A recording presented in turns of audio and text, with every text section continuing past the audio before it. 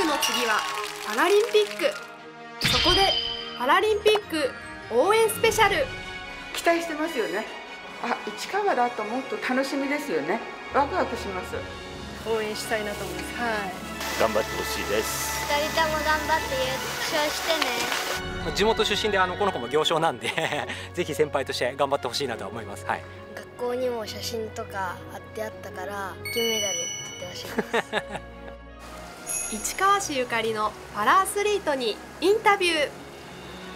パラリンピックにかける思いやパラスポーツの魅力を伺いました。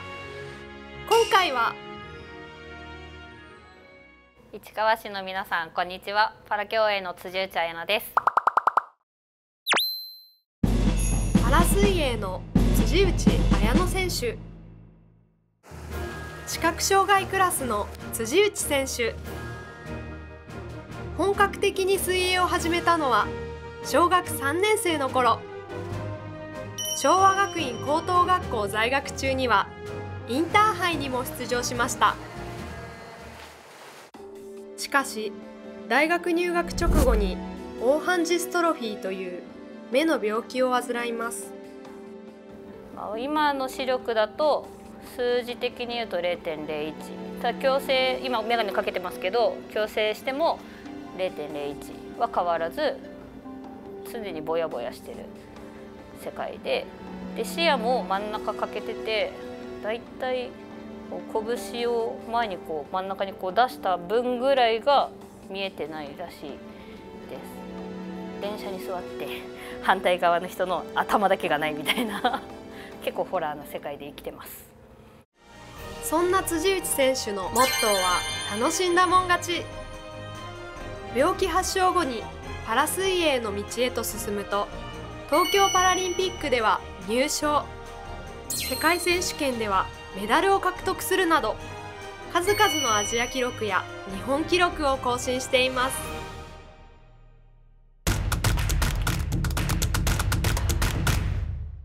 そうですね。パラリンピックの方の水泳は全員一括りではなくて障害の度合いでクラスっていうのが水泳の場合は14個細かくバーって分かれていて基本どの障害であっても、まあ、白状は置かなきゃいけないし 義足は取らなきゃいけないし車椅子から降りなきゃいけないのででありのままの自分でみんな競技をしているので車椅子でスタート台のところまでデートに普通にスタート台から飛び込んでめっちゃ速いとかも全然ありますしその意外性っていうのは本当に面白いところかなっていうふうに思いますね。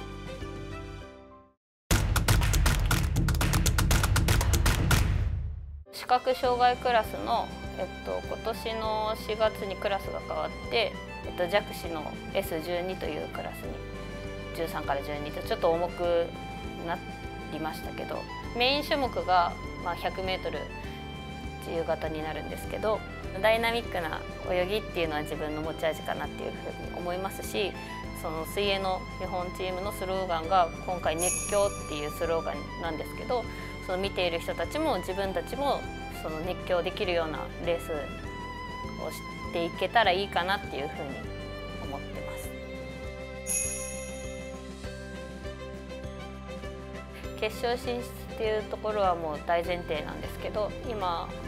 と,、えーと、パリパラリンピックに出られる資格を持っている選手のだけのラン世界ランキングっていうのがあるんですけどそれを見るとメダル争いに十分絡めるランキングにいるので、まあ、メダルっていうところを見たいんですけどメダルメダルメダルメダルって思っちゃうと体ガッチガチでタイム悪くなっちゃうので、まあ、自己ベスト更新、まあ、59秒台でしっかり泳ぐっていうのを目標にしてそれをクリアできた時に実はメダルもついてきたよぐらいの気持ちで頑張りたいなと思います。私にとってのパラ水泳は自分の可能性を試す場かなっていうふうにものかなっていうふうに思ってます。少しでも早くかっこよく泳げるように頑張りたいなっていうふうに思います。市川だと母の勤務先の病院が市川市内なのでまあ、行徳の方なんですけどそこのステーキ屋さんに家族でよく行ったりとかちっちゃい時から。ステーキ石井さんですね。この間も久しぶりに ランチで行ったりとか夜ご飯食べに行ったりとかはよくしてましたし、まあ、あとコルトンプラザも結構この年になってからもパラの友達と行ったりとか、まあ、普通に買い物で1人で行ったりとかしてたりとか。あと今週1から2で通ってるそのジムがあるんですけどパーソナルジムなんですけどそれが市川駅から56分歩いたところの場所にあったりとか割と市川来てましたね。よくよく考えたら。市民をはじめ多くの方々の応援があったからこそこれまで頑張れたという辻内選手。そうですね、まあ、応援っていうのは本当に力になりますしコロナ禍の大会は寂しくて寂しくて仕方なかったですね久しぶりに声出し応援が解禁されてその応援が本当に嬉しくて今年の選考会の時にレース前に泣きました だそれぐらいでも嬉しいことですし自分の力にもなっているのでありがたいなっていうふうに思います。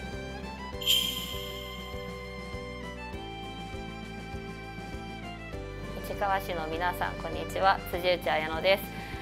パラ競泳すごくベテランの選手から初出場の選手だったり、まあ、私みたいに東京の次パリっていう2回目の出場の選手が選手が結構たくさんいるので、まあ、その初めての選手2回目の選手も6年生ぐらい6回ぐらい出てる選手とかいっぱいいる中であの一つのチームとして戦っていくとともに、まあ、皆さんの応援がすごく力になるので、まあ、テレビの前で「イエー!」って叫あの応援していただいたり、まあ、現地観戦は絶対的に難しいと思うので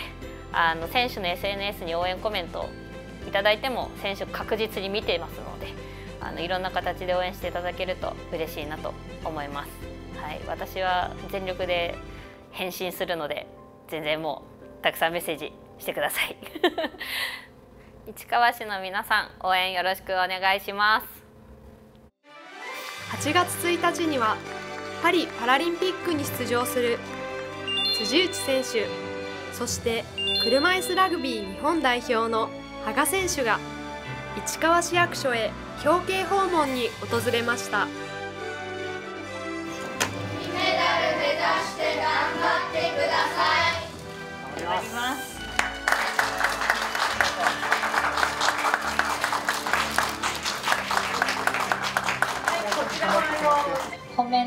ル自由形は、えー、と49ポイントの視覚障害者だけのリレーと同じ日に9月4日に、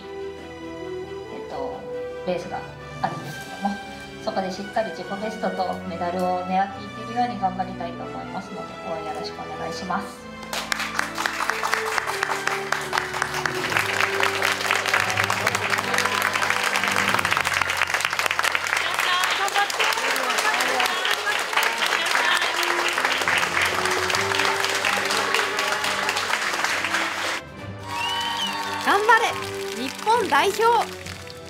みんなで一緒に応援しましょう。